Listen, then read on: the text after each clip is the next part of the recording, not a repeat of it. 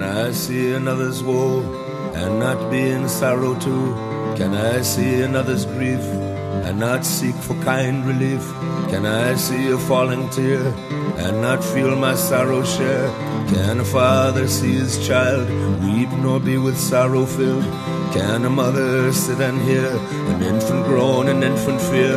No, no, never can it be, never, never can it be.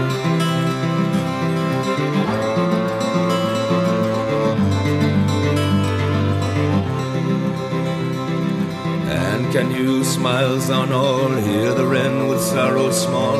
Hear the small bird's grief and care, hear the woes that infants bear, and not sit beside the nest, pouring pity in their breast, and not sit the cradle near, weeping tear on infant's tear, and not sit both night and day, wiping all our tears away. Oh no, never can it be, never, never can it be.